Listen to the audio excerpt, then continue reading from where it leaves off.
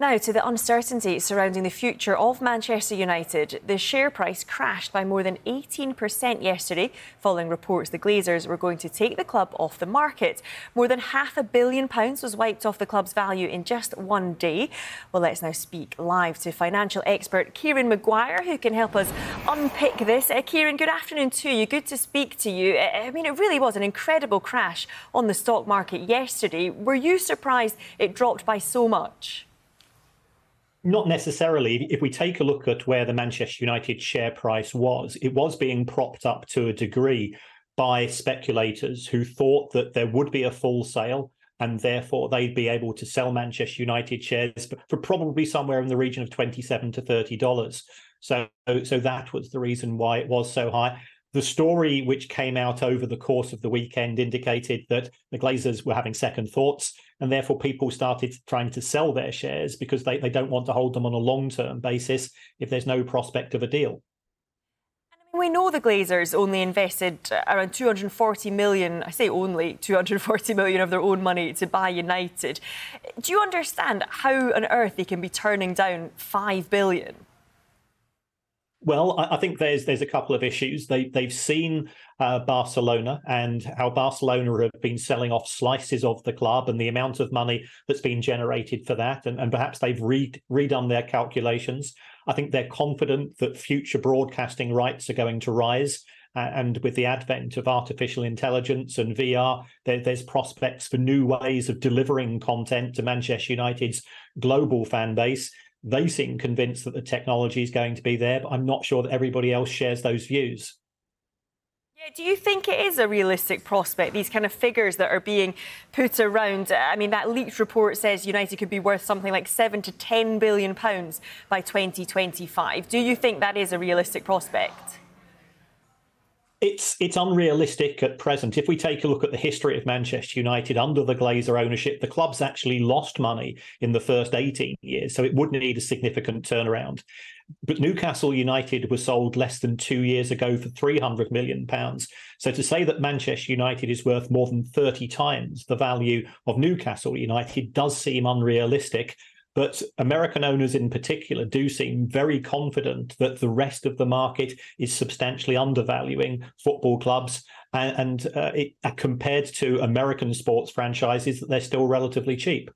And do you think there is a bit of game playing here? I mean, could these reports be designed to get more money uh, off, off, the prospective buyers, Sheikh Jassim and Jim Ratcliffe, or, or is that a bit of a dangerous game to be playing if they are indeed doing that? I think that would be very dangerous if, if you take a look at the New York Stock Exchange rules. Uh, that could be deemed to be inappropriate behavior, and there could be consequences if senior people at the club were connected with these reports. And there's no evidence, by the way, to support that. So I, I, don't think so. I think the, the, the prospective owners in in the shape, shape of Jim Ratcliffe and uh, Sheikh Jassim, um, they feel that they've put in fair offers. They've not heard anything from Manchester United or the Raine Group. I think there's a sense of frustration. They've spent an awful lot of money on accountants and lawyers and professional fees, and they're not getting an answer. Kieran, if you can, just talk us through how much the Glazer ownership has actually cost Manchester United.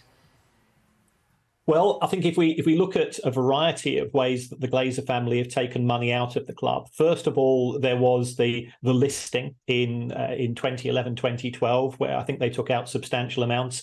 Um, we've also had dividends which have been paid by the club since uh, 2016. Those have totaled around about 160 million pounds, of which a significant proportion has gone to the Glazer family. Some of the Glazer children have sold shares, and that's brought in again a nine-figure sum. So, so overall, we're probably talking somewhere in the region of four to 500 million.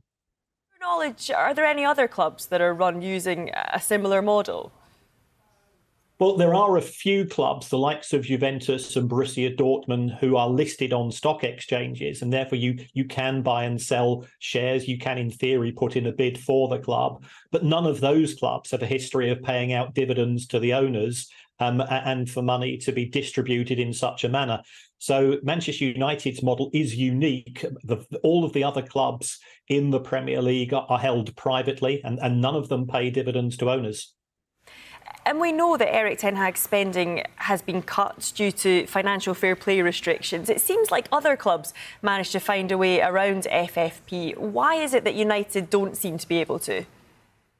Well, I think Manchester United have spent an awful lot of money in a competitive amount compared to what they would consider to be their peer group. I think the downside, as far as Manchester United are concerned, is their inability to convert players into substantial amounts of money from sales.